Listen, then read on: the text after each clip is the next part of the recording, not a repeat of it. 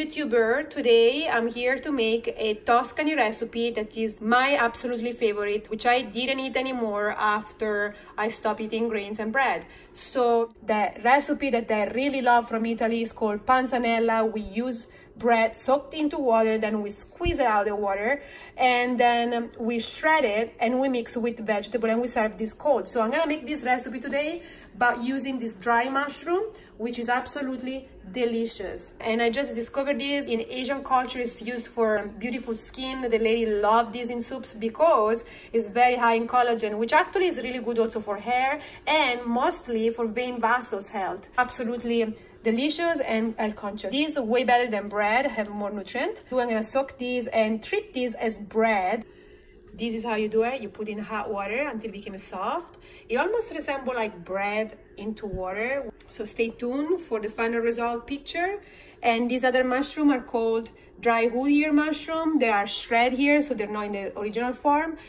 Both of these mushroom are really high in collagen, so great for skin and for even vein vessels because we need that collagen which is a protein. So this is very high in protein. And the black one also is very high in iron higher than even pork liver which is amazing.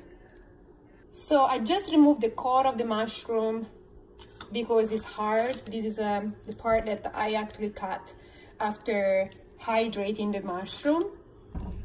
I just shred these in very tiny little pieces and I'm going to add water into my crock pot. I'm gonna put a high until it boil and then low. And I'm gonna cook this for a long time until it became very soft and almost transparent. And here is the final result. This is panzanella. I'm gonna plate this after resting in the fridge for a few hours. It's a typical uh, Tuscan uh, summer dish that is actually made with bread crumbs, but this is gluten-free, grain-free, and it's actually made out of a mushroom that was being soaked and cooked for two hours in the slow cooker.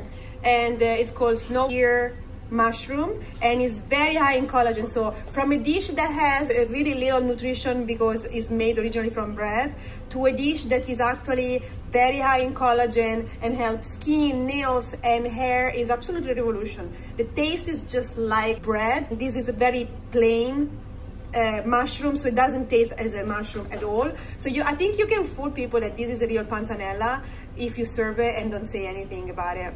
Here is my panzanella recipe made with uh, white wood ear mushroom instead of bread.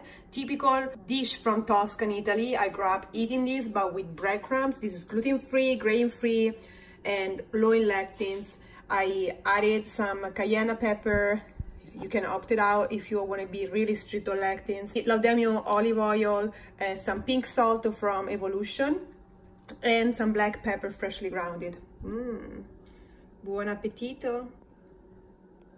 You can now buy I Love It Vlog merch at teespring.com slash shop slash I Love It Shop. Click on the round icon on the left side to subscribe to the channel and never miss a video from I Love It Vlog.